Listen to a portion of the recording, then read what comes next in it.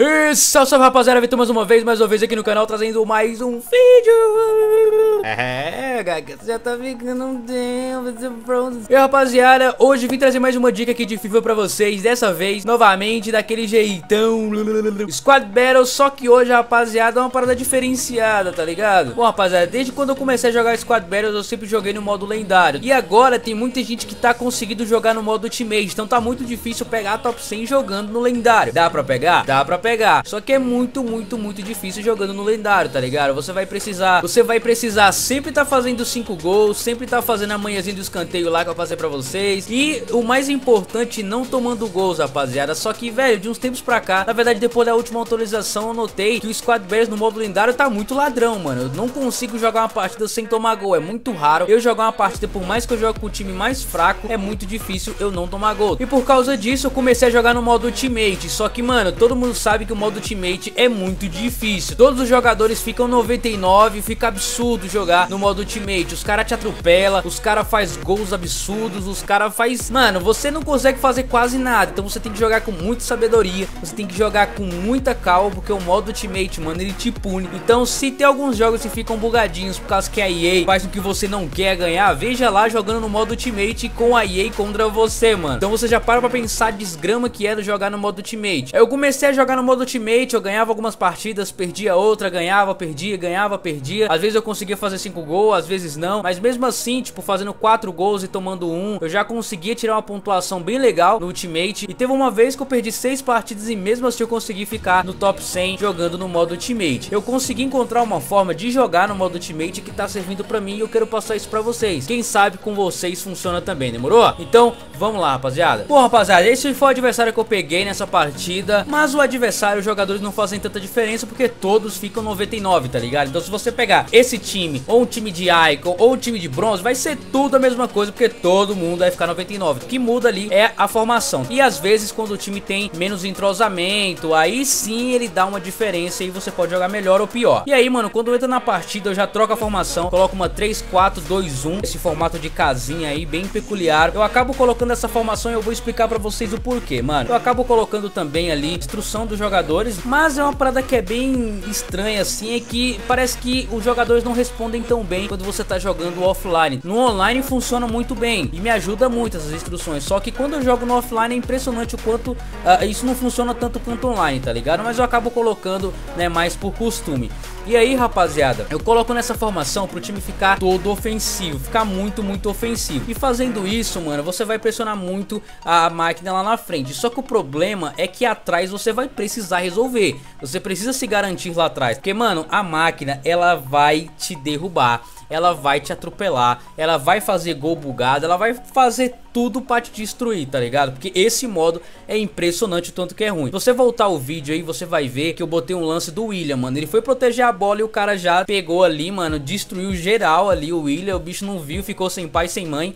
E aí eu fiz o gol com o Alexandro e todos os jogadores, né, do time, eles ficaram lá atrás. Então eu fiquei tocando bola para poder chamar os caras. Só que o problema de você fazer isso, rapaziada, é que, mano, como você está com três jogadores lá atrás, se eles subirem em velocidade com vários jogadores, a, o risco de você tomar o gol é muito grande, mano, porque eles vão ir, né, com tudo. E se você tiver só três caras, você não conseguir defender, vai ser muito difícil, tá ligado? Então jogar com três, né, é, zagueiros é muito ruim também pelo fato de você você tomar muitas, uh, uh, muitas bolas pelos lados, tá ligado? Você tomar gols pelos cantos. E aí um golzinho com Gabriel Jesus de manha, né? Manha não, né, mano? Mas, né, uma, uma formazinha ali que eu aprendi tem pouco tempo. Os caras tava fazendo em mim, eu falei, quer saber? Eu vou fazer também, tá ligado? Aí eu acabo fazendo online na máquina também. E aí, mano, vocês podem ver que, olha só, eles fizeram uma jogada pelo lado, tocaram, tocaram, chutou, consegui bloquear, só que a bola ainda sobrou pra máquina. Como eu falei pra vocês, mano, elas vão fazer de tudo, vão fazer gol bugadinho, vão fazer gol de tudo quanto é jeito em você. Então vocês precisam tomar muito cuidado, né, nessa hora, tá ligado? Então vocês têm que também manter a calma, porque realmente, mano, você jogar seus caras todos lá pra frente, ficar só com três atrás é realmente muito, muito difícil, tá ligado? E aí mudou o segundo tempo, né? Eu tirei os jogadores que cansam mais rápido e aí eu botei alguns jogadores também rápidos e bons ali para poder me ajudar. Logo após, né, essa, essa virada de segundo tempo, né, virada de primeiro tempo, eles fizeram uma jogada pelo lado novamente, duas jogadas pelo lado, e aí eles conseguiram fazer mais um gol aí, mano. Nessa hora aí eu meio que fiquei, tava de boa, mas nessa hora aí eu fiquei mais acordado, fiquei mais ligado, porque eu poderia tomar a virada a qualquer momento, isso já aconteceu em outros momentos, né, eu jogando Squad Battles e eu acabei tomando a virada, e aí eu fiz tudo de errado que eu poderia fazer, tá ligado? Eu poderia ter marcado, eu poderia ter feito, o cara e, não, e ter evitado esse gol. Só que eu eu, tipo, sei lá, mano, eu acabei pensando num negócio completamente diferente, fui tentar adivinhar o que a máquina ia fazer e acabei me enrolando ali. E aí eu consegui fazer o gol logo em seguida, né? Um gol muito importante com uh, o Origi, né? Essa cartinha dele aí que é inegociável, que eu ganhei no Melhoria Ouro e ele me ajuda demais. Ele tem bastante partidas no meu clube já e eu gosto muito de usar ele. Ele sempre entra no segundo tempo e eu gosto demais de usar o Origi, mano. E rapaziada, uma parada que é muito importante, cara, né? Uh, em relação a você jogar no modo Ultimate é que eu falei pra vocês, mano. Vocês precisam ter muita paciência. Se vocês quiserem testar essa formação, vocês podem ver. Olha esse gol do Origi. Mano, os caras veio todo pro meio da área, pro miolo da área e eu consegui achar ele lá. Então a máquina ela vai abrir muito espaço. Então é o ideal. Olha só, mano. É, como eu falei pra vocês, velho, tem vezes que a EA, ela tá completamente contra você, tá ligado? Então vocês podem ver, o Courtois, ele poderia ter espalmado essa bola pro lado, mas não, mano, ele foi espalmar pra onde tava o jogador do cara. Foi certinho pro jogador do cara, tá ligado? E isso, do cara não, da máquina, né? Mas às vezes acontece também no próprio online, na verdade é onde mais acontece. Então acaba que esse tipo de coisa acaba estressando, então por isso que você precisa ficar, né, muito, muito, muito calmo ali. E eu tive a frieza de fazer esse gol aí com o Origi, consegui achar um passe maravilhoso ali, todo mundo veio de novo e ele saiu sozinho lá na ponta. Então essa formação, rapaziada, é tipo uma 4-3-3, tá ligado? Mas uma 4-3-3 com os laterais lá na frente, os laterais lá em cima.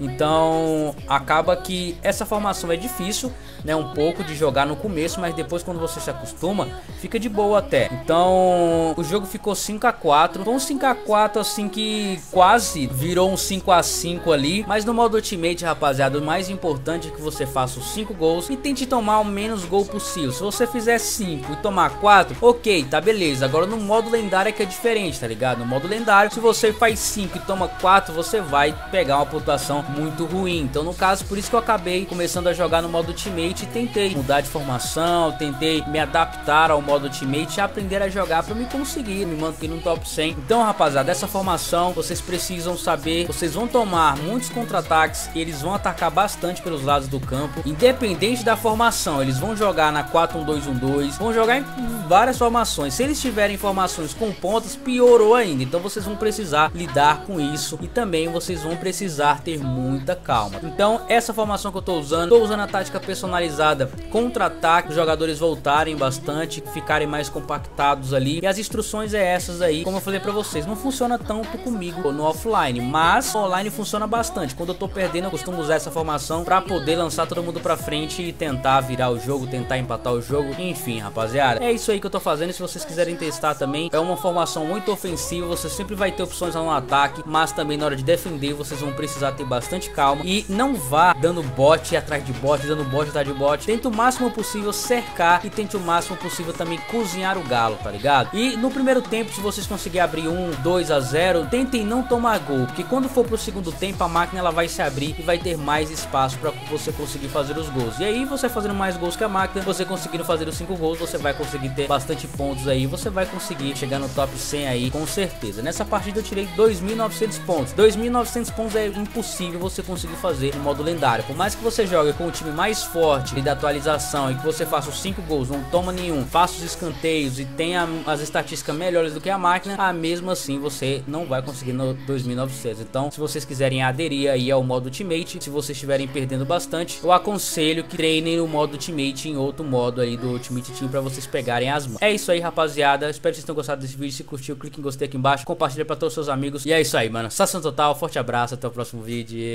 Fui!